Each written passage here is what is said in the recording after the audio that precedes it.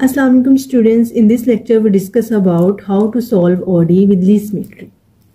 जैसे कि स्टूडेंट्स हमने प्रीवियस लेक्चर में देखा कि इकोनॉमिकल कोऑर्डिनेट्स को कैसे फाइंड आउट करना है और इसको फाइंड आउट करने के लिए आपको कौन से फार्मूला से फेमिलियर होना है और कौन सा मेथड जो है वो यूज़ करना है और फार्मूला को कैसे पुट करना है वैल्यूज़ को कैसे लगाना है और इकोनॉमिकल कोऑर्डिनेट्स फाइंड आउट करने के लिए आप लोगों को किन चीज़ों की ज़रूरत है। तो स्टूडेंट्स आज का हमारा जो टॉपिक है कि ओडी को कैसे सोल्व करना है इन लीस मीट्री में। तो हमारे पास सबसे पहले जो है वो एक ओडी इक्वेशन दी गई होगी। उस ओडी इक्वेशन का हमने जो है वो जनरल सोल्यूशन फाइंड आउट करना है या फिर एग्जैक्ट सोल्यूशन फाइंड आउट करना है या फिर इनवेरियंट सोल्यूशन फाइंड आउट करना है। तो देन उसका क्या मेथड होगा? तो हम चलते हैं एग्ज़ाम्पल की तरफ़ ताकि आप लोग इजीली इसे समझ सकें।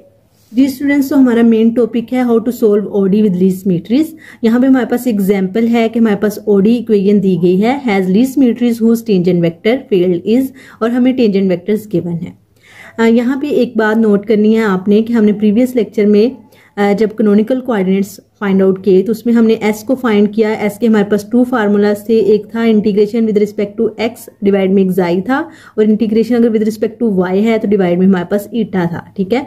ईटा का फ़ंक्शन था। तो यहाँ पे स्टूडेंट्स हमें एक्साई की वैल्यू जो है, वो वाई वेरिएबल में दी गई है, और ईटा की वैल्यू हमें एक्स वेरिएबल में दी गई है। तो यहाँ पे जो है, वो कैसे आप लोगों ने फार्मूला का यूज़ करना है, वो हम इस एग्ज़ाम्पल में देखेंगे, जो कि इम्पोर्टेंट बात है और बहुत ही अहम बात है, जिस, जिसको आपने ध्यान से समझना है, ठीक है? तो स्टूडेंट्स यहाँ पे उन्होंने हमें एक ओडी इक्वेशन दी है और टेंजेंट वेक्टर हमें गिवन है। तो जब भी हमने किसी ऑर्डिनरी डिफरेंशियल इक्वेशन को सोल्व करना है या हमें इस तरह का क्वेश्चन आए कि ऑर्डिनरी डिफरेंशियल इक्वेशन का आपने एग्जैक्ट सोल्यूशन फाइंड करना है, या जनरल सोल्यूशन फाइंड करना है, या फिर इनवेरिएंट सोल्यूशन फाइंड आउट करना है। तो उसका क्या मेथड है, ये इस एग्जांपल में आप लोगों ने देखना है कि किस तरह हमने एग्ज़ाम्पल सोल्व की और कैसे हमने जनरल सोल्यूशन फाइंड किया ऑर्डिनरी डिफरेंशियल इक्वेशन का। तो सोल्यूशन की तरफ़ चलते हैं। सबसे पहले हमने ये करना है कि हमें टेंजेंट वेक्टर गिवन है तो हमने कनोनिकल कोऑर्डिनेट्स फाइंड आउट करने हैं। तो सबसे पहले जब हम आर कनोनिकल कोऑर्डिनेट को फाइंड करना चाहते हैं तो हम उसका फार्मूला यूज़ करेंगे। जैसे कि यहाँ पे लिखा है the characteristic equation are is d y by d x is equal to eta by xi ये हमारे पास आर फाइंड करने का फार्मूला है। इक्वल टू हमने यहाँ पे ईटा की वैल्यू पुट की फोर एक्स एंड डिवाइड में हमारे पास एक्साई की वैल्यू है वाई ठीक है? देन हमने इस इक्वेशन को रीअरेंज कर लिया y d y equal to minus four x d x ठीक है? अरेंज करने के बाद हमने इंटेग्रल लिया है बोथ साइड इंटेग्रल लिया है, यहाँ पे हमारे पास इंटीग्रेशन ऑफ़ वाई होगी with respect to y by square by two equal to minus four x square by two plus c square by two and constant की वैल्यू भी इसी तरह हम राइट ऑन कर देंगे, ठीक है? तो यहाँ पे देखिए y square by two equal to minus four x square plus c square by two and two यहाँ पे जो है वो खत्म हो जाएगा then y square equal to minus four x square plus c square ji students तो यहाँ पे हमने सी स्क्र की वैल्यू निकालनी होती है मतलब कि कॉन्स्टेंट सी की वैल्यू निकालनी है। तो उसकी वैल्यू निकालने के लिए हम क्या करेंगे? फोर एक्स स्क्र को इधर ले जाएँगे y square plus four x square and c square की वैल्यू ये आ जाएगी। देन हमने स्क्र खत्म करना है क्योंकि हमें सी की वैल्यू चाहिए तो बहुत साइड हम क्या ले लेंगे? स्क्र रूट ले लेंगे। तो ये हमारे पास सी की वैल्यू आ जाएगी। जब हमारे पास कॉन्स्टेंट की वैल्यू आती है मीन टू से हमारे पास आर कनोनिकल कोऑर्डिनेट की वैल्यू आ गई है तो यहाँ पे हमने आर की वैल्यू फाइंड आउट कर ली। अब स्टूडेंट्स हमारे पास जो बेसिक बात थी कि हमने आर की वैल्यू फाइंड आउट करनी है, वो आर की वैल्यू तो हमारे पास आ गई है, लेकिन हमने नेक्स्ट जो एस फाइंड आउट करना है सेकंड कनोनिकल कोऑर्डिनेट जो फाइंड करना है, उसके लिए हमारे पास फार्मूला जो है, वो हमारे पास है s is equal to integral d x by xi x y and r x r is equal to r x y ठीक है? प्रीवियस वीडियो में मैंने ये कहा था कि आप लोग एग्ज़ाम्पल में देखोगे कि इस फार्मूला को कैसे यूज़ करना है, ठीक है? तो यहाँ पे जो हमारे पास s is equal to d x by xi है तो हमारे, हमें जो एग्जाई की वैल्यू दी गई है वो माइनस वाई मतलब कि वाई वेरिएबल में इसकी वैल्यू दी गई है। लेकिन integration with respect to x है, लेकिन एग्जाई की वैल्यू जो है वो वाई में दी गई है। तो उसके लिए हम ये करेंगे कि हमारे पास जो आर की वैल्यू आएगी, उस वैल्यू में से हम वाई की वैल्यू निकाल लेंगे देन वाई जो है वो डिपेंड करेगा आर एक्स पर। जब y डिपेंड करेगा आर एक्स पर तो देन हम यहाँ पे y की वैल्यू को पुट कर सकते हैं, ठीक है? तो हमने क्या किया? हमने हमारे पास जो एक्साई की वैल्यू थी वाई वेरिएबल में थी। और अगर हम ईटा वाला फार्मूला यूज़ करें तो ईटा की value four x four x square mean two से एक्स वेरिएबल में थी। तो ना ही हम वो वाला फार्मूला यूज़ कर सकते हैं ईटा वाला ना ये वाला कर रहे हैं। तो इसलिए उन्होंने यहाँ पे उन्होंने बताया कि आर एक्स पर डिपेंड कर सकती है वैल्यू अगर हम वाई की वैल्यू इसमें से निकाल लें तो वो आर एक्स पर डिपेंड करेगी आर एक्स पर डिपेंड कर रही है। तो देन हम यहाँ पे क्या वाई की वैल्यू को पुट कर देंगे। तो इस तरह हम एस को फाइंड आउट कर सकते हैं। ठीक है स्टूडेंट्स तो ये थी मेन बात कि जब आप लोगों के पास इस तरह की वैल्यू आ जाए मेन टेंजेंट वेक्टर जो है वो इस तरह दिए गए हैं कि एग्जाई की वैल्यू वाई में है और ईटा की वैल्यू किसमें आ रही थी? ईटा की value four x square mean x variable में आ रही थी। जब इस तरह की वैल्यू गिवन होंगी टेंजेंट वेक्टर की तो देन आप लोगों ने इस फार्मूला को यूज़ करना है। और इस फार्मूला को यूज़ करने के लिए आप लोगों ने जो आर की वैल्यू फाइंड की है, उसमें से आप लोगों ने वाई की वैल्यू निकाल लेनी है और इस वाई की वैल्यू को आप लोगों ने यहाँ पे पुट कर देना है। नेक्स्ट देखिए, हमने वैल्यूज़ को पुट कर दिया। अब हमने इंटेग्रल लेना है d x by under r square minus four x square तो अगर आप इंटीग्रेशन ले रहे हैं तो आपको पता है अगर इस तरह की फॉर्म बन जाए one by a square minus b square under root में इस तरह की चीज़ बन जाए तो इसकी इंटीग्रेशन क्या होती है? एंगल का half cos inverse two x by r और नेक्स्ट उन्होंने लिखा है कि one by two cos inverse two x by r किसके इक्वल है? One by two cot inverse two x by y इस तरह वैल्यू लिखी है, इसका आंसर उन्होंने एस का जो है इस तरह लिखा है। तो नेक्स्ट हम ये देखते हैं कि ये वाली चीज़ कैसे इसके इक्वल हो सकती है, ठीक है? हमने ये देखना है कि हमारे पास one by two cos inverse two x by r is equal to one by two cot inverse two x by y के कैसे इक्वल है, ठीक है?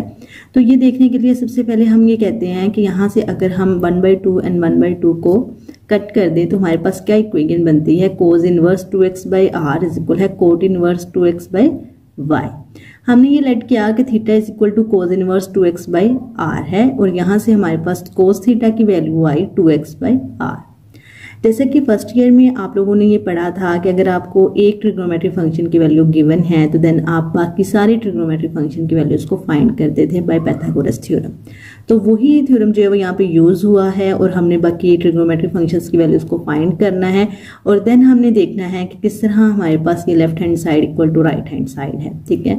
जैसे कि हमने एस की वैल्यू फाइंड आउट की तो हमारी वैल्यू जो है वो cos inverse two x by r में आई थी, लेकिन हमने क्या किया? अब यहाँ से ट्रिग्नोमेट्रिक फ़ंक्शन की वैल्यू फाइंड आउट की और हमने कहा कि टू एक्स बाई आर में जो वैल्यू है वो किसके इक्वल आ जाएगी? Cot inverse two x by y के इक्वल आ सकती है।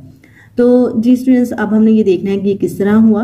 तो सबसे पहले हमने क्या कहा? हमने cos theta equal to two x by r के इक्वल कहा है और कोस थीटा का उलट क्या है? सिकेंड थीटा सिकेंड थीटा की क्या वैल्यू होगी? आर बाई टू एक्स ठीक है? यहाँ से नेक्स्ट हमने टेन थीटा की अगर वैल्यू फाइंड करनी है तो टेन थीटा इक्वल टू है under root secant square theta minus one की।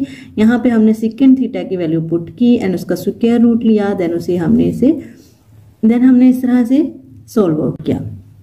नेक्स्ट देखिए जी अगर टेन थीटा की value under root r square minus four x square by two x है तो हमारे पास कोट थीटा की वैल्यू क्या होगी?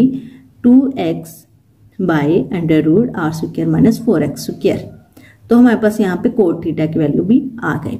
यहाँ से हमने ये क्या आ, कहा कि हमारे पास two x by under root r square minus four x square है। हमने इकोनॉमिकल कोऑर्डिनेट आर की वैल्यू फाइंड की। उसमें से हमने y की वैल्यू फाइंड की थी, ठीक है? y की वैल्यू निकाली थी तो हमारे पास आई थी under root r square minus four x square तो ये किसके इक्वल है? ये हमारे पास y के इक्वल है। तो हमने यहाँ पे y पुट किया। देन हमने कहा कि हमारे पास क्या वैल्यू आई है? Cos theta equal to two x by y तो हमारे पास यहाँ पे थीटा की वैल्यू अगर हम फाइंड करें तो वो cot inverse two x by y हो जाएगी। तो ये हमारे पास इक्वेशन टू हो जाएगी। जैसे हमने इक्वेशन वन लेट की, ठीक है यहाँ पे, और यहाँ पे हमारे पास इक्वेशन टू ये आई है। ठीक है? अब जब हम इन दोनों को कंपेयर करेंगे तो हम ये कहेंगे कि cos inverse two x by r is equal है cot inverse two x by y and one by two cos inverse two x by r किसके इक्वल हो सकती है? One by two cot inverse two x by y के। तो इस तरह हमने जो है वैल्यू को फाइंड आउट कर लिया। फाइनली हमें क्नोनिकल कोऑर्डिनेट्स आर और एस की वैल्यूज़ मिल गई हैं। अब हमने क्या करना है? हमने गिवन ओडी इक्वेशन को रिड्यूस करना है d s by d r equal to minus r form में। तो जब भी किसी ओडी इक्वेशन का हमें सोल्यूशन फाइंड आउट करना होता है तो हम क्या, कौन सा फार्मूला यूज़ करते हैं? हम सबसे पहले ये देख लें देन हम उस फार्मूले में वैल्यूज़ को पुट करेंगे एंड देन हम general solution of given ODE find out कर लेंगे। जी स्टूडेंट्स तो हम फार्मूला यूज़ करेंगे। D S by D R equal to S X plus W X Y S Y over R X plus W X Y R Y यहाँ पे हमारे पास एस एक्स का मतलब हमारे पास जो canonical coordinate s find out हुई है, उसकी वैल्यू जो हमने निकालनी है, उस वैल्यू का हम डेरिवेटिव ले लेंगे with respect to x and with respect to y and r का with respect to x and with respect to y derivative ले लेंगे और यहाँ पे हम पुट करेंगे। और डब्ल्यू एक्स वाई का मतलब है हमारी जो गिवन ऑर्डिनरी डिफरेंशियल इक्वेशन है, वो हमने यहाँ पे पुट कर देनी है। देन हमें इसे सॉल्व करना है और हमने इक्वेशन को रिड्यूस करना है। तो सबसे पहले हमने क्या किया? हमने क्रोनिकल कोऑर्डिनेट आर और एस फाइंड कर लिए। अब उन वैल्यूज़ का हम डेरिवेटिव लेंगे। जैसे हमने यहाँ पे एस का डेरिवेटिव लिया विद रिस्पेक्ट टू एक्स तो हमारे पास with respect to x derivative आ जाएगा और विद रिस्पेक्ट टू एक्स हमारे पास वैल्यू आएगी minus y by y square plus four x square and with respect to y जब हम इस वैल्यू को डेरिवेटिव लेंगे तो x by y square plus four x square derivative आ जाएगा, ठीक है? यहाँ पे हमने आर का डेरिवेटिव लिया with respect to x and with respect to y. जब हमारे पास ये वैल्यूज़ आ गई तो हमें सिंपली क्या करना है? हमने इस फार्मूला में वैल्यू को पुट कर देना है। नेक्स्ट देखिए स्टूडेंट्स यहाँ पे हमने सिंपली वैल्यूज़ को पुट कर लिया। देन आप लोगों ने ये करना है। यहाँ पे आपके पास four x square plus y square common आ रहा है, ठीक है? और यहाँ पे आपके पास under root four x square plus y square common आ रहा है। ये आप लोगों ने कॉमन ले लेना है और बाकी सारी वैल्यूज़ जो है यहाँ पे एज इट इज़ आ जाएँगी, ठीक है? नेक्स्ट देखिए हमने ये किया कि यहाँ पे हमारे पास जो कॉमन वैल्यूज़ थी वो सोल्व आउट हुई और हमारे पास ये इक्वल है one over under root four x square plus y square के। ये किस तरह? जब आपके पास four x square plus y square value है, ठीक है? ओवर में आपके पास under root four x square plus y square value है, ठीक है? तो इसकी वैल्यू क्या है? वन और इसकी क्या है? अंडर रूट की वैल्यू क्या होती है? वन बाय टू तो जब आप इस वैल्यू को नीचे ले जाएँ ठीक है? तो आपके पास जो पावर होगी four x square plus y square की जो पावर होगी, वो one by two minus one होगी। तो जब आप यहाँ से वन माइनस टू करेंगे तो माइनस वन बाई टू आएगा। तो आपके पास ये ओवर में वैल्यू आ जाएगी अंडर रूट की। One over under root four x square plus y square इस तरह ये सोल्व आउट हुई है, ठीक है? देन आप लोगों ने नेक्स्ट ये करना है कि सोल्व आउट करने के बाद one over under root four x square plus y square value लिखनी है और ये आपके पास बाकी सारी जो वैल्यू उसका आपने एलसीएम लेके उसे सोल्व आउट किया है और ये ओपन वैल्यू हो गई है, ठीक है? देन आप लोगों ने जो वैल्यू कटिंग होती थी वो कटिंग कर ली है और आपके पास लास्ट पे ये वाला आंसर आ जाता है। Minus y square plus four x square whole power square and under root and y square plus four x square ये वैल्यू आपके पास आ गई। आपने ये लिखा यहाँ पे कि d s by d r is equal है minus under root four x square plus y square ठीक है? यहाँ पे ये वाली वैल्यू इस वैल्यू से कट कट जाएगी। देन आपने इन दोनों वैल्यू को जब सोल्व करना है तो आपके पास minus under root four x square plus y square value आ जाएगी। एज इट इज़ आप लोगों ने इन दोनों को सोल्व करना है। जैसे यहाँ पे वन पावर रह जाएगी, इसकी पावर वन बाई टू होगी, और जब पावर जो है ऊपर जाके सोल्व होगी तो आपके पास जो वैल्यू आएगी वो minus under root four x square plus y square होगी। देन आपके पास ये जो वैल्यू है ये आपके पास आर के इक्वल है जो हमने प्रीवियस आर की वैल्यू फाइंड की वाई की वैल्यू निकाल ली वो सीन जो है जो कनोनिकल कोऑर्डिनेट में आपने आर की वैल्यू फाइंड की ये वैल्यूज़ आर के इक्वल है तो देन हम इसे लिखते हैं आर के इक्वल तो ये हमारी ओडी को ये रिड्यूस हुई है d s by d r equal to minus r form में. यहाँ पे हमने क्या किया हमने d s is equal to minus r d r लिख दिया ठीक है? डी आर के साथ आप, आपके पास आर आ जाएगा ठीक है? नेक्स्ट आपने इसका क्या लिया है? इंटीग्रेशन किया है बहुत साइड जब आप बहुत साइड इंटीग्रेशन करेंगे तो डेरिवेटिव इंटीग्रेशन से कट के एस रह जाएगा. Equal to r square by two plus c आपके पास इंटीग्रेशन आ जाएगी. देन आप लोगों ने क्या करना है? एस की वैल्यू को पुट कर देना है, जो आपने फाइंड की थी. यहाँ पे आर की वैल्यू पुट कर देनी है. ठीक है? अब हमने एस और आर क्रोनिकल कोऑर्डिनेट जो फाइंड किए थे, उनकी वैल्यू यहाँ पे पुट कर देनी है और हमारा जो जनरल सोल्यूशन होगा वो एक्स वाई के फॉर्म में होगा, ठीक है? तो देन आप लोगों ने इसको सोल्व आउट करना है। सोल्व करने के बाद आपके पास जो इक्वेशन आएगी, वो कुछ इस तरह की होगी और लास्ट पे आपके पास जनरल सोल्यूशन आ जाएगा, ठीक है? ये हमारे पास जो जनरल सोल्यूशन आया है, ये हमारे पास ऑर्डिनरी डिफरेंशियल इक्वेशन का जनरल सोल्यूशन आ गया तो ये एक मेथड था कि कैसे गिवन ओडी एक ये एक मेथड था कि कैसे आप लोगों ने गिवन ओडी का जनरल सॉल्यूशन फाइंड आउट करना है, ठीक है? ऑर्डिनरी डिफरेंशियल इक्वेशन थी और आप लोगों ने उसका जनरल सॉल्यूशन फाइंड करना था और आपको टेंजेंट वेक्टर गिवन थे विद लिसमेट्री ठीक है? तो टेंजेंट वेक्टर से आप लोगों ने कनोनिकल कोऑर्डिनेट फाइंड किए और देन आप लोगों ने फार्मूला यूज़ किया, जिससे आपने इक्वेशन को रिड्यूस किया आर आर की फॉर्म में और देन आप लोगों ने आर और एस की वैल्यूज़ को पुट करके उसे एक्स वाई फॉर्म में जो है वो जनरल सोल्यूशन को फाइंड आउट कर लिया।